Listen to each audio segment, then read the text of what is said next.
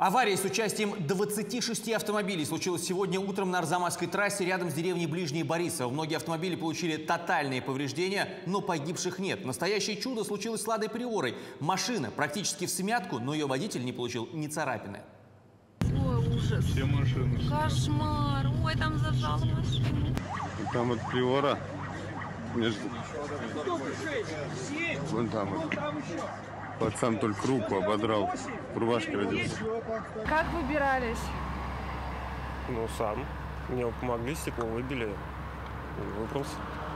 Вы один в автомобиле были? Да, к счастью, да, один. Мы подбежали, когда сумели вылезти из машины, вот молодой человек там сидел, окно оторвали, и он оказался живой. Слава богу, что он оказался живой. Мы живой-живой. Вот мы его достали. Достали сами мы его, потому что еще никого не было. Это было вот за пять минут буквально. На нем небольшие царапины, парню повезло.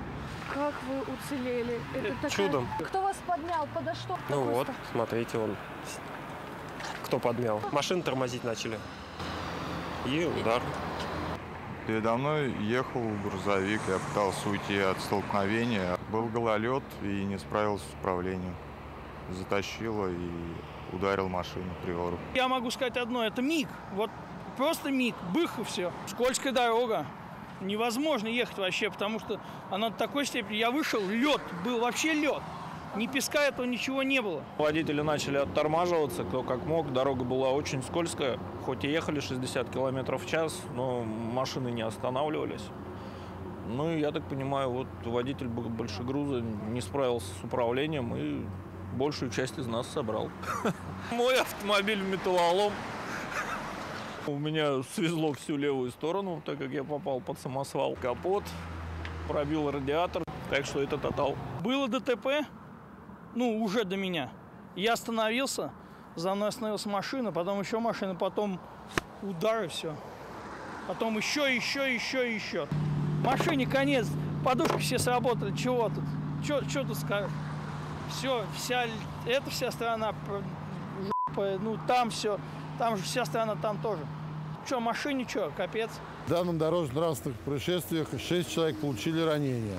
Основной причиной дорожно-транспортного происшествия является наличие зимней скользкости.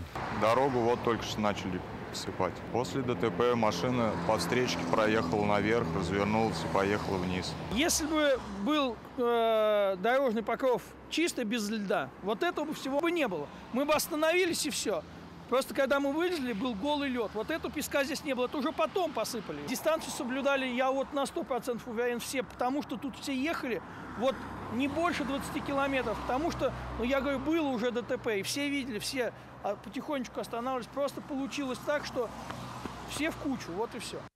Кстати, поясню путаницу, которая возникла сегодня утром в социальных сетях относительно числа пострадавших автомобилей. Сначала фигурировала цифра 26, потом в официальных сводках ГИБДД появилась цифра в 14 автомобилей. Дело в том, что 14 машин получили серьезные повреждения, а 12 легкие, и их ГИБДД не фиксировало. Общее число пострадавших от царапины на боку до тотала 26 машин.